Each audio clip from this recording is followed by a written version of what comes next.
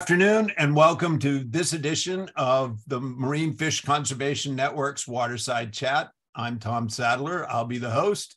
I'm joined today by Justin Zeulner of the Wave Foundation.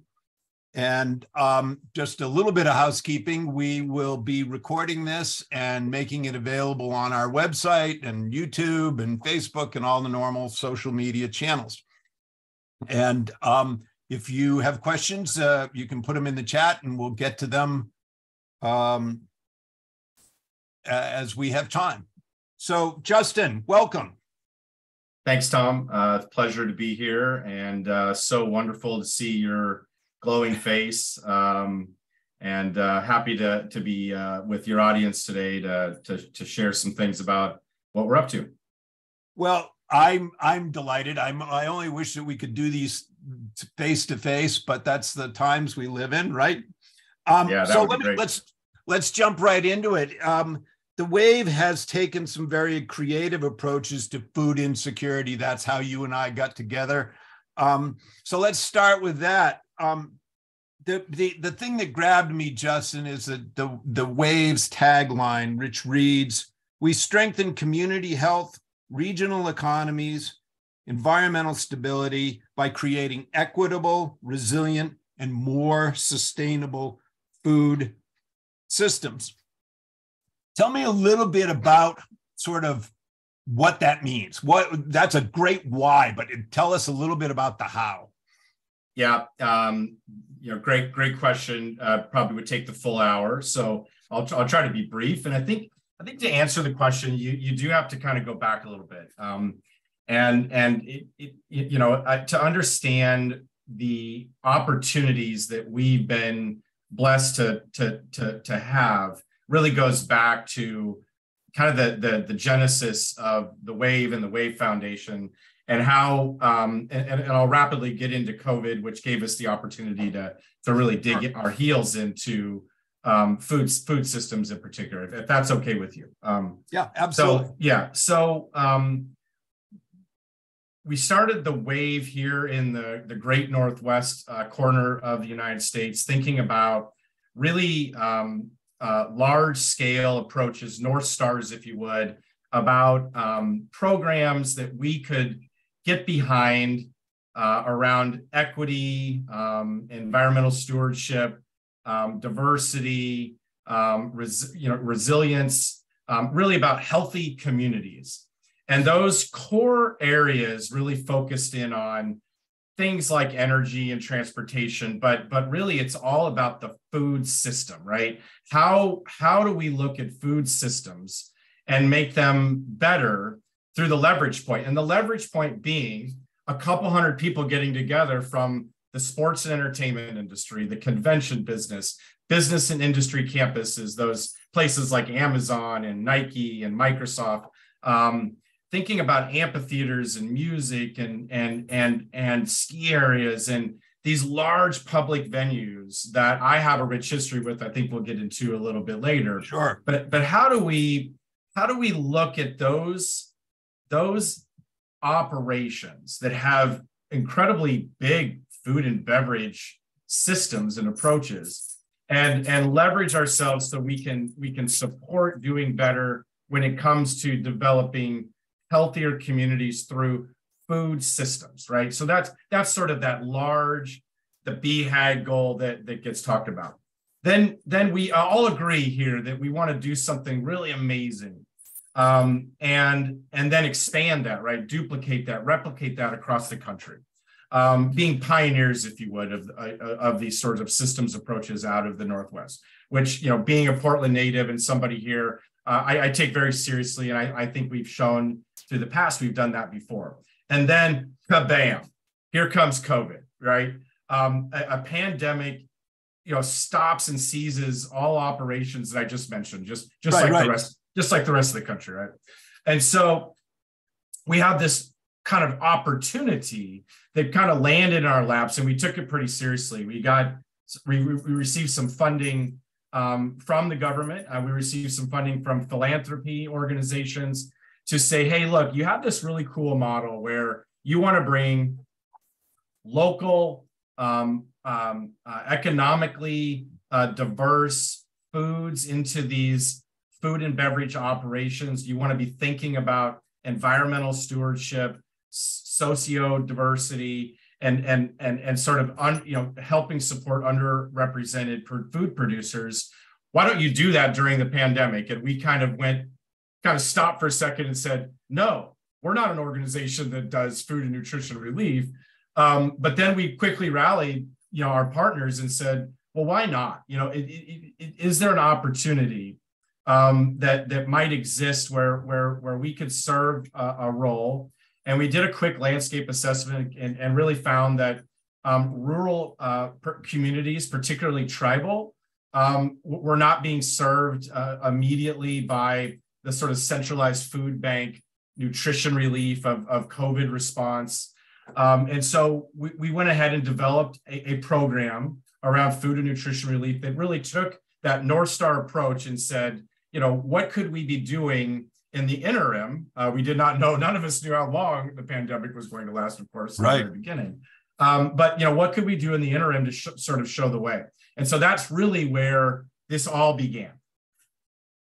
And it, but is you you took your existing model and moved it into the pandemic arena, if you will. Um, so give me a couple of examples of some of the stuff that you guys did when you as you were making that transition. Yeah, especially some, in the indigenous community. I'm I'm interested yeah, in that. Yeah, yeah, thank you. Um, and so um, we, we, we, again, I mentioned that we received some uh, support to kind of do this work from the philanthropic uh, community. Um, I've got a background working, um, and I think we're going to get into it a little bit further in, in philanthropy globally. Sustainable fisheries is one of the programs that, that, that I've worked on over the over the last couple of decades, and some of those um, partners uh, that have been, you know, really lifting up the sustainable fisheries uh, um, industry uh, just like anybody else, was incredibly worried. All that hard work that we're we, we you know that we've built up to this point, a pandemic comes, cripples everything. Are these fisheries going to survive um, the pandemic? Right, that was sort of the hypothesis. What can we do to help them? And so, so a lot of the philanthropic groups that were involved again um, in de- helping develop sustainable fisheries models and fisheries um, stepped in and, and did use their money to buy that fish, right? To buy those harvests, to make right. sure our fishers um, you know, could, could, could get through. They shipped, um, you know, hundreds of thousands of pounds of, of fish out of Alaska waters, Bristol Bay, uh, through Alaskans Own, um, et cetera, and brought that to Bellingham. We picked it up out of Washington and started distributing that food, that that that you know awesome fish um, into tribal nation communities. And so what we did was, you know, put to, you know, we use that as the base protein. You know, um, healthy, uh, sustainable produced foods, uh, culturally relevant, um, incredibly important um, as we put food boxes together and distributed it to over 45,000 tribal uh, community members um, here in the Northwest and other places across the country. We, we mixed in, right, um, foods that again came from that model. Um, what is local? um, what what are what are farmers um, and and ranchers that are, are are using sustainable practices that we can purchase from and actually put into these boxes to go alongside that awesome core protein of fish um, and and actually buy from tribal producers. Um, we, we bought um, well over 60,000 pounds of Columbia River tribally caught salmon from fishers that um, were left with no markets, um, you know, during the pandemic, and then turned that food right around and gave it back to the tribal communities. Um, you know, again, what what a great multiplier of using dollars um, for food and nutrition relief to actually support the, the the producers doing the right thing. So that to me is one of the key elements of this, and and I was struck by you know, we've been involved together in some of this work. And one of the things, and I'm going to quote him, I'm going to try to keep the from choking on my uh, emotions here, but one of the tribal elders of the Confederated Tribes of Warm Springs said, It will take a long time for our tribal members to begin eating just traditional foods once again. I have happy tears in my heart and mind for getting to witness an outside entity help make this a reality. I thank all involved with this vital traditional foods venture for a healthy lifestyle. To me, Justin, that sums up the value proposition of what you were doing, taking a very unconventional approach to a very serious problem. Is that fair way to characterize it? Yeah, Delson Suppah Sr., um, uh, an elder from the Confederated Tribes of Warm Springs, and a, a, a you know and a, heartfelt friend uh, of of of mine and my, for my family. Um, you know, wonderful quote. Um, it always kind of actually right gets you, gets you, pretty, gets you pretty emotional. Um, the development of authentic relationships in our Northwest tribal communities um, is something for me and the rest of the partners of, of the Wave Foundation. Um, that includes the businesses involved as well. Um, that that in itself um, is enough for us to say we did good during the pandemic. Um, uh, I have another story that that Tom, you probably you know heard me say. Um, you know, we really got into the weeds um, as far as purchasing food, finding the producers, um, understanding their barriers, right? And we'll get into right. that here in a, in a minute. Um, uh, that's been talked about, you know, you know, by the government, USDA, et cetera. But we'll get it, you know, what like we got into the weeds, really understanding you know, what was preventing us from buying the food to put in food boxes, right? You know, that's just an example. Right. But um, we, you know, we were we were in the field. Um, so every other week, um, you know, I would hop in a truck. You might see my dog walking behind me. Uh, He was my co co-pilot, and we would, you know, distribute food boxes to um, uh, tribal communities along the Columbia River, um, up in Yakima Valley, um, and um, I, I uh, was in Georgeville, uh, which is the Yakima Nation um, community, uh, in the truck, you know, unloading some boxes, and I I heard an elder voice outside of the box truck, and and uh, they were demanding to talk to whoever's in charge, and of course I'm going, uh oh, you know, uh oh, here we go, you know, there's something something's wrong, and so I hopped out of the truck and. Um, uh, she, you know, the, the, the, this elder who, who was a grandmother taking care of her uh, gr- grandchild from basically birth, and the child is almost a teenager at this point. Um, you wanted to let me know that uh, that that that granddaughter had had diabetes basically her entire life, um, and as Delson, you know, uh, in his quote mentioned, we, we were you know providing food for you know a couple of years um, that was healthy, uh, culturally relevant, um, and nutritious, clean label. And she just wanted to hug a person responsible for helping her grandchild um, get rid of diabetes. And and and her doctor said you know the only thing we did different is feed this food right? Um, salmon and wild rice and healthy vegetables and fruits um, and foods that didn't contain you know the real negative stuff that is common um, to communities uh, of color communities in need let alone a pandemic, right? Well, and and that I think is part of the the the the um, thing that attracted me to the to the work that you all are doing is that it's you could go get a box truck full of fast food. I'm not going to put any names on it, but fast food and dump it off or or pass it out somewhere. Or you could take the extra step that you guys did, which was find it locally sourced, find it um, I think what what what struck me was it was relevant to their historic diets, right? That's that was a part of the the equation that you know uh, fast food's not a, a, a, at least someone in my advanced age that was not what I was raised on, and um, you know being able to take that do that extra work to get that kind of food took a lot of ingenuity and and commitment. And that to me was what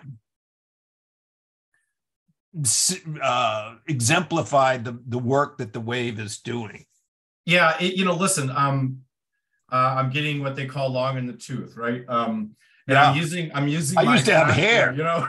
yeah, right. And and so we we can only use our past experiences to help inform us on you know how we move forward um, with intentionality and and and and, and you know and, and making better choices right so we might get into this a little bit but but part of um, my past history is uh, helping let's, work let's let's yeah. go there right well, let's great. tell yeah. us the justin zeulner's backstory well uh, yeah thank you um, so um, I, I grew up, you know, um, at, with, with with not a lot of money. Um, you know, my family um, was was fairly, you know, poor. I think in the demographic standpoint, they're they're still probably, um, you know, my parents are still, you know, economically in in a very um, low level of of of sort of class when it comes to income.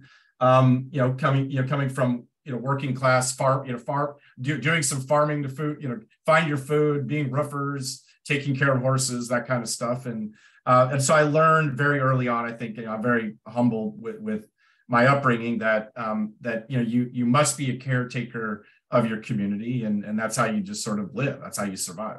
Um, I I quickly. Um, after graduating from the University of Oregon, um, this is before I got, got my MBA, but uh, I jumped into the ski industry because I was snowboard uh, I was one of the original snowboarders back in the day. Really? Um, yeah, like you know, like literally Sorel boots and and and a snowboard that wasn't even you know it was just made of plywood. Um, wow.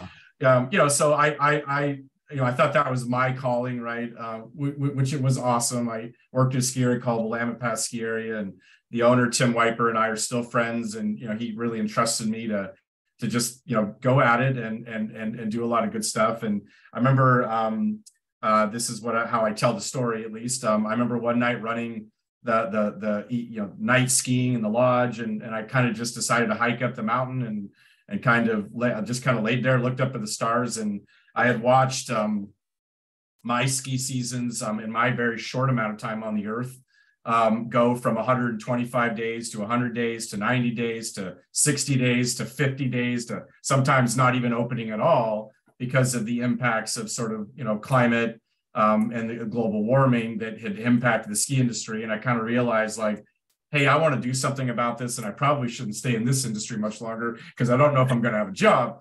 And so uh, I found a job with my next like love. Right, I was born and raised in Portland. The Portland Trailblazers was you know my, my heart and soul. I you know I bled uh, black and, and and and red, the team colors. Uh, they gave me an opportunity to do an incredible job, uh, which led me to um, you know you know working on government and public affairs, community uh, you know affairs, that kind of job. Um, and Paul Allen, the late Paul Allen, really gave me my opportunities um, by working for him both at the Trailblazers, but then I did work for him up at Vulcan. Um, uh, which is the headquarter company uh, uh, in, in, Seattle. And those viewers that may not uh, remember who Paul Allen is. He was um, co co uh, uh, founder of Microsoft with Bill Gates, and a, a, a huge philanthropist, um, and really wanted to see what we had developed, what I was able to to put together based on his blessing in Portland around sort of how a sports team could play a giant role in society, uh, creating you know good. He wanted to see that scale up. Uh, we started a nonprofit called the, the Green Sports Alliance, and a sports greening movement went across the whole country and then eventually led to a global movement. Um, and I was one of the faces of all of that, uh, putting that together. And as expand as, on that a little yeah, bit, Justin. Yeah, yeah, yeah, sure. Because it's, um, it's an interesting, it's an interesting story. It's not something you both you either associate with Paul Allen or the Trailblazers. So I don't think a lot of people know about it, and I'd like you to brag on yourself a little yeah.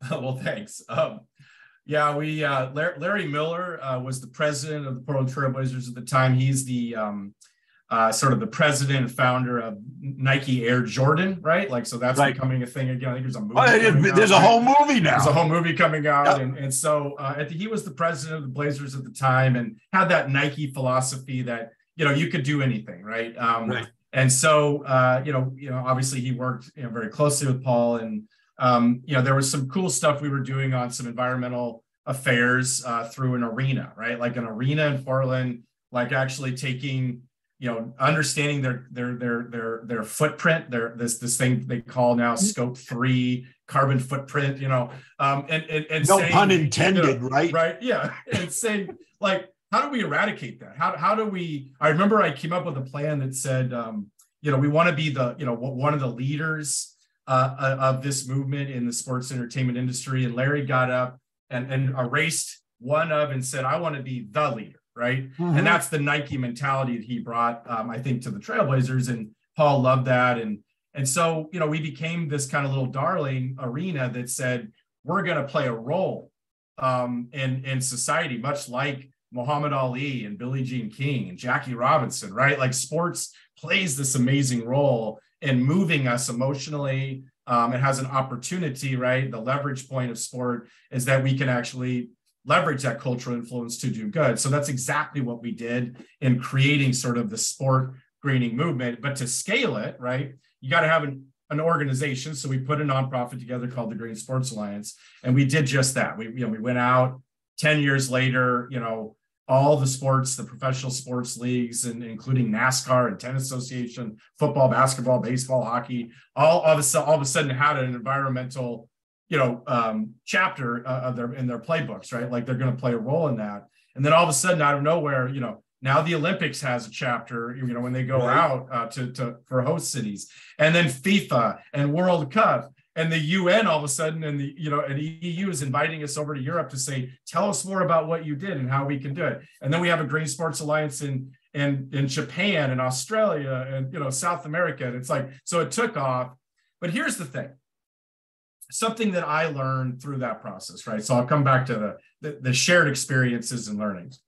Um, right. First, um, having that opportunity to work for Paul Allen what, what was a blessing. And um, I, I, worked with a colleague of mine who's also known in this space, uh, uh, Dr. Dune Ives. Um, you know, she she's worked on sustainable fisheries projects and and all kinds of you know global climate stuff. Um, and I learned from her that in order to look at systems approaches, you must think and, and move both the levers of demand and supply, right? So right. demand supply force. We're going to get to that here in just a minute. Paul Allen sort of um, infiltrated my brain to let me know that you can make global impact, right? Like, like right, you can think that big. It's a blessing and a curse. I I, I sent Jody Allen um, a note about a year or two ago. At, you know, his sister, who's running things now, and I worked with her pretty closely. Um, that you know that was it's a blessing and a curse to know that you actually can make impact at a global level because we've done it right. Um, right, right. Yeah, and and then you know working there, you know you've got an opportunity, right? You, you sometimes get blessed with and you know the opportunity to make change happen, and I do think right that COVID gave us this opportunity. Uh, uh-huh. Uh, first, it gave us the opportunity to do something in this space as opposed to just saying philosophically we would love all of you in this industry to do better use your budgets better uh, in food and beverage and support this we actually got a chance to get in the weeds and actually develop these relationships with the producers right. understand better what the barriers and constraints are instead of just reading about it on a report um, you know and and third develop you know like understand what could we be doing in this space, right? So how could we help develop programs? So that's one thing that um, I learned with the green sports movement is that it is important that you also develop a program that people can say, okay, you're in it, you're helping us, um, as opposed to just kind of taking a typical nonprofit NGO. Here's a vision, we want you to do it, but not ever really doing it. Does that doing make sense, it, Tom? Yeah, like sure. there's a lot of nonprofits that have jumped in for stuff, but they haven't really done the programmatic work, right? So, so I use all that experience to say, great, we've got an opportunity right now to do this. So um, while we will continue to do food and nutrition relief programming as it comes up, right? Like we're not going to forget about that. We have a model. We'd love to see that model being used by community foods, uh, you know, we'd love to see it by the food banks. We'd love to see the government support more of those programs. So we're not going to forget about that, but we're using that opportunity. We're leveraging that to move on to the systemic change, right? That that's what we're really up to. and and the leverage point that we've got and now that you know sort of covid is coming you know receded a bit you know we're getting back to normal to some degree um, and now now we need to move move that forward so for the last year that's sort of what we've been doing i hope that's helpful in framing the sort of what we have in front of us and the opportunity for sure for sure and i want to step back a little bit more to um, I don't want to say the history, but the good work that you did during the pandemic. Um, if folks want to, you know, sort of learn where what that impact was, there's stuff on your website, right, that shows the, the statistics and all that. And I, I don't have them off the top of my head, and I don't expect you to, but they can find that impact, right? Yeah, um, thewavenw.org. I'm sure it'll be linked, um, uh, you know, on, on, on this session. Um, but you know, w- within a very small amount of time, um, you know, we distributed about eight million pounds of food. You know, um, and so when you're thinking about that um, economic impact, well, it's not you know it's not as large as the central food banks. I mean, they they, they did a lot more during the pandemic. You know, two years during the pandemic. Um, but what we did get to you know do again is to see how you know an order of a couple thousand bottles of value produced, tribally produced um, uh, salsas and salts and things like that from uh, Sakari Farms, a, a, a, a, a tribally owned, uh, women owned, uh, small sort of farm um, and food producer out of uh, Sisters, which is near Bend, Oregon, and how that sort of commitment to purchase that to, to add to our food boxes enabled them to make investments, right? to, to increase their farm capacity by 300%, right? That, that's a very small commitment that equaled big impact, right? And so through those sort of stories of how we know that in the industrial food system, if we can get um, our food and beverage partners, and, and I'll, I'll start to talk about that now, you know, people like Delaware North, Compass Group, Sodexo, um, you know, who are serving and are the sort of main providers of food and beverage operations hospitality to convention centers, arenas, stadiums, university campuses, um, food, you know, uh, business and industry where, you know, where, where people work, those campuses, if they can, if they're enabled, right, to commit to purchase orders from our underrepresented food producers in our community. So these are, um, you know, tribal, uh, Black, Indigenous, um, uh, Hispanic, um, Latino, women, rural producers, right? These are these are the the exact thing that during the pandemic was highlighted as we want food from source from these places, right? So how how do we do that better? And again, supply and demand forces, we need to look at both, right? And so on the demand side, we know, right? We, we, we know through both the last couple of years and during the pandemic, and we just sort of know now from research and, and our own um, you know research that, that we have done, right? That we've got the demand for this sort of approach, right? We we we want foods that are healthier for us from our local communities that are culturally relevant. The Sodexos, the Compass Group, the Delaware North, they know that their clients are saying, um, we, we would love to feature these foods for, you know, to, to, to help us with our, and, you know, environmental social governance, our ESG, um, you know, uh, goals of equity, um, climate, um, you know, you know, supporting local communities, and and and those types of impacts, right? So so also on the sort of demand side, we seize the day, right? So carpe diem, right? This is our opportunity, right, to to to start moving things forward. So um the again, if there's a, a bit of a silver lining in the pandemic where you found your experience with the Green Sports Alliance and bringing those venues to a place where they appreciated and then committed to doing that kind of thing within their community you you learned the of the opportunity that came from having to then take that and use it to say, okay, I've got people who need food. And I could go and do, as I was saying earlier, you know, I could go to McDonald uh, to a, a fast food outlet and fill a truck full of it and bring it to the table. Or I could take a different approach and see what was the historic, the legacy foods, and see how we could do that for them in this small scale. And now, what I'm hearing, I think I'm hearing, is you're looking at how do we do this with some of the big food product providers like Sodexo, like Compass, um, and you've got you've got commitments now on this. So is that am I am I setting the stage correctly here? You are, and I think I think probably you know your viewers and listeners, um, you know, know this, but I think it's important to acknowledge, um, you know, the the the the problem. Um, you know, I think the businesses in the sports entertainment industry and the public venues industry. I that's again zoos, aquariums, convention centers, music, theater, arts. Um, in addition to stadia and, and sort of sports venues, arenas, et cetera.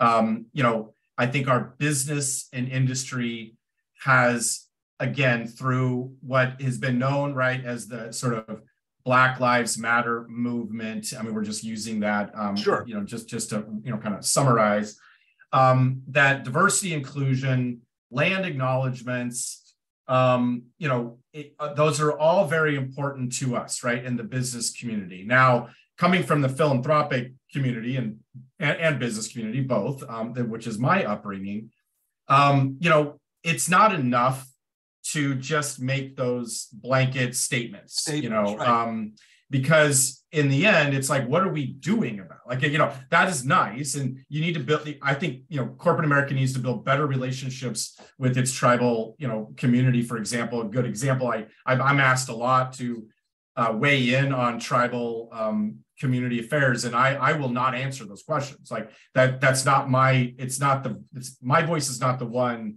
that needs to be heard. And the relationships as i i point to corporate america that you need to develop the relationships yourselves, right? Like you, that's the most important thing you can do, more important than a land acknowledgement. Like that, that's super, super important. But getting back to the problem, right? Like, so our industrialization, right? The consolidation of our food systems over the last century. I mean, we, are aware of this, right? Like, and so right. again, the pandemic just sort of highlighted, like, uh oh, we have done so in a manner that has basically prevented us from actually keeping local foods, you know, in our own communities. Okay, so we we know that, that. Let right? me stop you there, because because that that keeping food in local communities is a key element to the work that you were doing, right? Yeah, and I want to. I also want to bring seafood back into this because um, I think it's it's pretty important. Um, but but you know, I, I, see a different USDA that I've I've never seen in 30 years. Um, I see a USDA right now leadership acknowledging right that there was systemic racism in these systems, right? Uh, sexism, sure. like like you know, they're they're they're not they're not saying well we believe these to be true. They're saying it is true, right? And so um, you know, so so that's sort of p- part of the problem, right? So small, mid-scale growers, fishers, ranchers, you know, ag producers, you know, had sort of those systemic barriers. Then we had like this massive movement to like centralize and industrialize, and that created opportunities, right? And so um, you think about all that, you know, women uh, additionally have had you know massive systemic barriers too, right? So what, what's interesting about this, right, right, is you know those are like the the, the large scale stuff. Now I mentioned we got into the weeds, right? So Right. What was preventing us from, you know, you know, here we go, you know, hey, uh, we want you all to feature these foods. Okay and then you get you know the companies like delaware north compass group i mentioned or or even just like the trailblazers right um right. you know where i used to work they're like okay justin we hear you we get it there's an equity standpoint there's a community health there's you know there's there's right. elements of, of sustainability environmental stewardship in this but but we we can't access you know the you know right and so right and so we got to experience it too right So there was this inability, right? That you know all these barriers have created other, you know, these are rural producers for the most part. So processing, right? Just to get their food processed or to meet requirements on food safety insurance, the certification that's needed to get into this sort of large, you know, you know, market niche, you know, space, right? Um, thinking about how you speak the language, you know, of these buyer, you know, the, the food buyers in this, right? You know, how how how does this food get like an online system that it's available, right? So so those are all like massive opportunities. And then just even honestly, Tom, like a, a refrigerated truck to get the food from the farm or the fisher, right, to an actual place where it can be processed to distribute, right? Um, how do we how do we keep these foods from spoiling? Refrigeration systems, freezers, you know, that's all an issue as well. All of these are barriers, right? And so it's going to take a large scale effort. So I go back to again we've got the people aligned, right? They understand that they would like to feature these foods. They want to integrate them into their system. So now the government has stepped in, right? The government has said, okay, aha, right? We've got some barriers, we've our own systemic barriers. Um, we've got money, right, that we can flow out from grants and all that kind of stuff um, to pay for, you know, the the the infrastructure barriers. But their government's not good at doing, you know, like they may have the money, but they're not really the doers, right? So, so we must, you know, find a way, right? So that we all work together in this in this case. Now, I want to go back to fishing because, um, again, I mentioned that um, my colleague um, Dr. Dune Ives and I, you know, we worked on some sustainable fisheries work in conjunction with other philanthropy groups, not just the Paul Allen uh, Foundation. Um, and you know, we developed Smart Catch. Some of you may may know that program. I was one of the architects of that program, which is now being run by the James Beard Foundation. And you know, we've got massive uh, systemic barriers, right? Um, you know, again, I, I mentioned, you know, getting hundreds of thousands of fish from sustainable waters in Alaska down to us to distribute, you know, to Northwest tribal communities, right? We mentioned that during the pandemic. Um, and in doing so, right, we again dove in, pun intended, to figure out like right. what's really happening here. And as we develop more relationships with our indigenous communities, we got to you know understand that in Alaska, right, uh, food harvested in Alaska isn't actually like kept in Alaska. It has to go all the way to Bellingham, right, to you know or Seattle to be processed because of again this sort of like the industrial system that we we've approached, right? And so we want more of this beautiful, you know, healthy, sustainable product to get into the lower 48. We want to make sure that that food that's actually out of the Columbia River, Salish Sea, West Coast, Gulf, and on the East Coast is also you know into our own food systems right? Like so that so i i know we'll get to that in a little bit but that's an, incredibly important thing. So what we see like on the working waterfronts as systemic barriers on the terrestrial land it it really is it's almost the same barriers right? It's it's like this infrastructure to get community foods to stay that grows within communities or is harvested within communities to stay local it's the same infrastructure that is non-existent that is needed to get it into the marketplace, right? So we feel our role, like the leverage and opportunity, is to help these foods get into the marketplace, right? So that's our whole thing. The wave marketplace is for us to help that happen, right? Supply and demand forces, the deployment of all those things, coordinating those efforts and get them moving. But guess what, Tom? that infrastructure deployed to get the foods into our systems, right, for purchasing and right. distribution and consumption is the same infrastructure that's needed to keep community foods that is harvested and produced within their own communities. And then we take the food of abundance, let's help get that food of abundance into the system. Let's help those farmers, ranchers, and fishers actually increase their capacity if they want to be entrepreneurial and, and get out, you know, grow their capacity and get them. We've got a great example. Uh, Yakama Nation um, uh, was uh, has you know basically they're in one of the richest growing valleys of the state of Washington. Mm-hmm. They own the majority of the land. They have water rights. but they're fishers, um, historically speaking. Um, sure. Right. Um, and they recently acquired a 1,500 acre um, farm, uh, Naba um, Farms, but now it's Yakama Nation Farms. And so, in their production of you know really awesome uh, fruits and vegetables, they want to think right about this agricultural line and growing agriculture as a new economic development um, line, right, for, for their tribe, for their community, et cetera. Um, and we're in partnership with them to say, as they kind of sort of take back their land leases from other farmers and develop more and more uh, of their own growing for both their own community, but they want to sell this off, you know, to other communities as well. So again, that infrastructure that prevents them from keeping their own food, including the fish they catch on the Columbia River, right? right. Is is refrigerated trucks, refrigerated storage, freezing, processing capacity, right? All of that is lacking, but needs to be deployed in order to get Yakama Nation farms product to Alaska and all over the lower 48. So you've you've described the challenge You've described the history. What's on the horizon? How does I'm I'm I'm sensing a, a transformation going on here that the wave sees on the horizon. So talk a little bit about that marketplace you've just been describing. Yeah, and I've been talking about opportunity. I've been talking about leverage points, right? Uh, points of leverage, um, the carpe diem sort of um, model. Right. Um, another word or, or kind of a, a, way of thinking about this value based systems approach that people like Chef Jeffrey Mora, um, uh, Fisher poet Kevin Scribner, um, and, and others that have been helping develop um, sort of our mentality is obligation. Okay.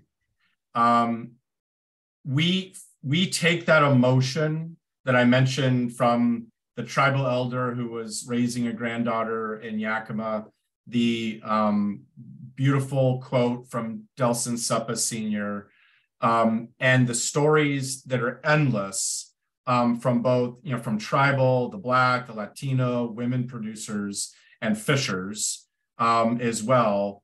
And we, you know, as we get longer in the tooth dome and grayer, um, we know we would we know that we would feel shame mm-hmm. if if we did not try to help support this system getting better right and so we want to be very clear that we're not involved in all of it right we're we're really hyper focused on how do we develop the marketplace in a way right that helps um, solve for the barriers, right? Right. Um, using again, kind of back to demand and supply sources, right? So when when the sports leagues, the venues, the convention centers, the business and industry campuses, and then all of those food and beverage partners, the Delaware Norths Compasses, Sodexos, et cetera, that serve them, state that they want to materially know, right, that they're they're doing good with a budgets that already exist. Like they don't have to go find a budget for equity, um, for for you know, sure. um, to, you know, to help with environment. Like like they already have budgets for this, right? So it's using them in a in a in a fashion that um, you know creates better impact, right? So so check. Great. Okay. So that's there. And there's this massive need and run to kind of do more in that space. They can, you know, they're even willing to pay even more for some of these products because they want to be able. So we want to make sure that the food being served in in this marketplace has equity right so um, giving those underrepresented producers an opportunity to play where really large ag and, and, and some of the fishing um, you know industry has had right we want to think about um, I use sustainability. We talk about climate change. We talk about environmental stewardship. It's really about the health of our communities. Like, like, mm-hmm. like we mm-hmm. want to make sure the food that is being featured um, in this system is healthy for the workers, right? That you know who, who's taking care of the people that are actually doing the work, um, and including act the waterfronts, the active, you know, the working waterfronts. We want to make sure that the food being consumed is healthy, right? Um, so it's it's really thinking about clean label approaches to the food that's being put into these systems, and then we want healthy watersheds, right? So if sure. if the watershed's healthy, right, um, we want to make this simple. Like there's a there, you know, you could go to. I'm not going to mention what and you know what what what what NGO this might be, but but but put any of the acronyms in there. A hundred base system that you know ensures that what you're you know what you're buying is meeting sort of MSC certification or whatever. Um, we want to keep this simple, right? It's like it is healthy for our watersheds, with the wa- the biggest watershed being the ocean, right? Like right. we want to make sure that health is the primary focus um, alongside of equity, right? E- equitable access. So as we move right. forward as a nonprofit, we want to help make these systems better. So in the private sector, we know those people that are supporting the marketplace expansion of this type of system is who we want to support. So Five Star Chef, I mentioned Chef Jeffrey Mora. Um, Five Star Chef is a, is a private sector company um, that works with Sodexo's and the Delaware North and the Compass Groups, et cetera, to help bring these foods to, to, to the system, right? So part of um, Five Star Chef um, leadership is a, a, man named Bobby Soper. Uh, some of you may know him, CEO of Mohegan uh, Sun Gaming and Hospitality. Um, and he is leading the effort. He's Mohegan himself and, and sort of leading the effort of how do we make sure that uh, we're bringing in tribal. Uh, we work with other partners um, such as the Black Food Sovereignty Coalition, the Rural Coalition, the Latino Farmers and Ranchers Association, and I can kind of go on and on with different um, acronyms and, and organizations. Right. Local Catch Network, a lot of you know them.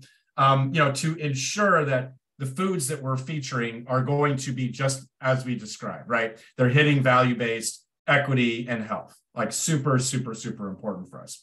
Um, as we look at those systems, right? So as we play our role, we want to make sure that we're helping develop more, right? Increasing the opportunity for more producers to be in that system.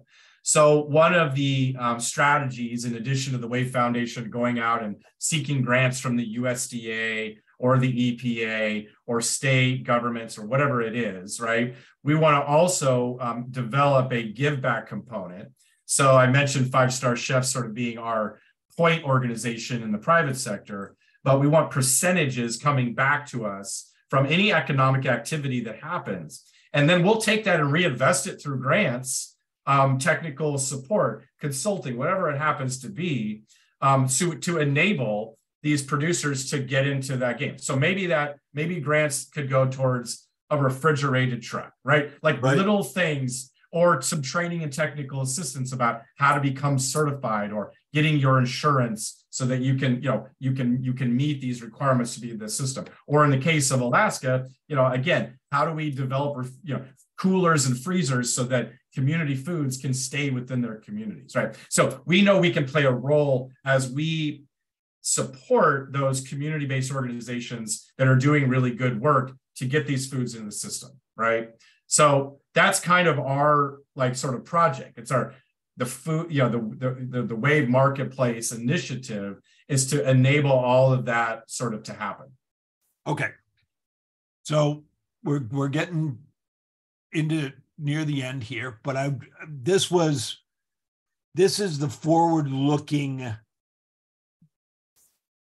initiative of the wave. Um, people can find out more about this on your website? Correct. Yeah. The, the wavenw.org.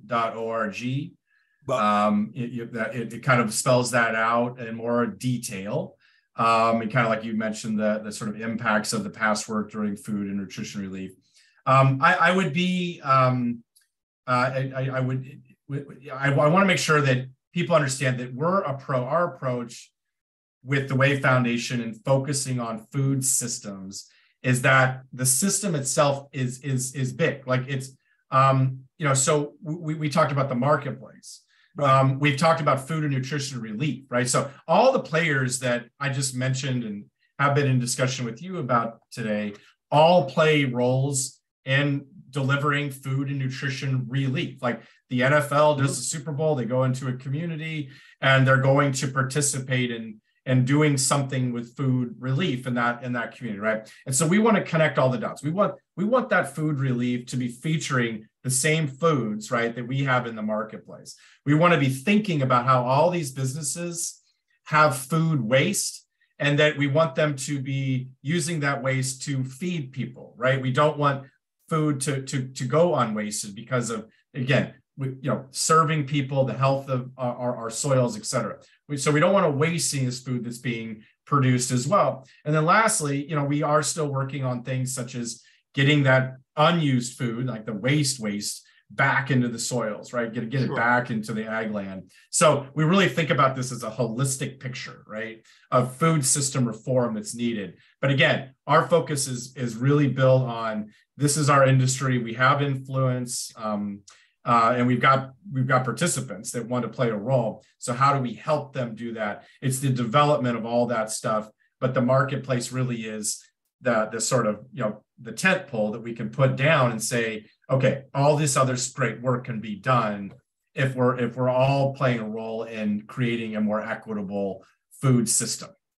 Yeah, and and Justin, I mean to be clear, the the Wave Marketplace is a very innovative, comprehensive, system-wide approach to dealing with those challenges that were identified long before the, the pandemic, but also became more acute um, or critical during the pandemic. But also then you you've looked and said, okay, now we can identify um, suppliers. So as you said, you've got the demand side, you've got the supply side. Now you're a central hub for getting that information together.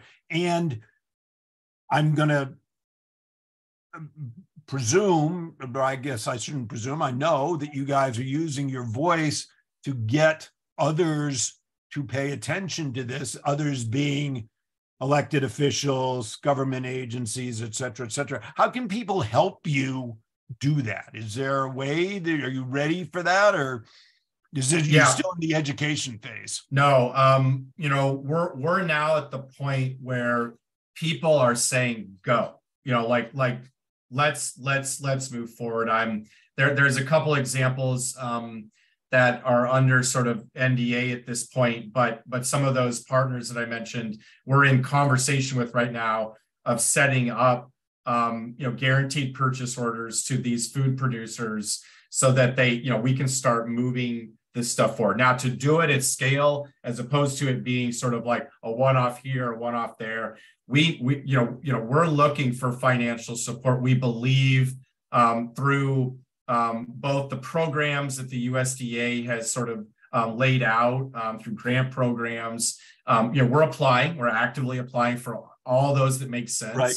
Um, we we also know that there's probably economic development assistance dollars um, that, that could be deployed. So those that are listening to this that might be in the influence of, um, uh, of earmarks and congressional spending uh, budgets, uh, farm bill, those are the kinds of places where we believe that if we could, you know, you, you know, receive some funding to get this moving forward even faster. I think again, now's the opportunity. We're looking for those. I'm very encouraged, by the way, that this really is bipartisan when you're thinking about. Congress. This is really bipartisan. I mean, what we're about, I mean, I know I get characterized as like, you know, a climate change guy or an environmentalist guy. And some people look at me and say, you're a capitalist, right? And so yeah, like, I'm like, I'm like, I'm, I'm all of that. Um, but what this is all about is really supporting America's you know, working lands, the natural resources and communities. This is about ensuring, right, that our agricultural system um, is more equitable, it's resilient,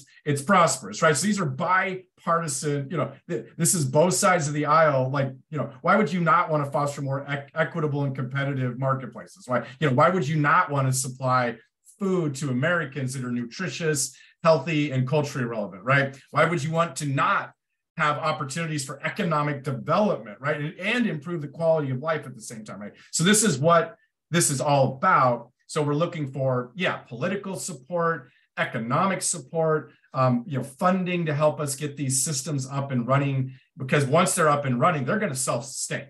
Um, so for the next five to ten years, we're really going to be at it.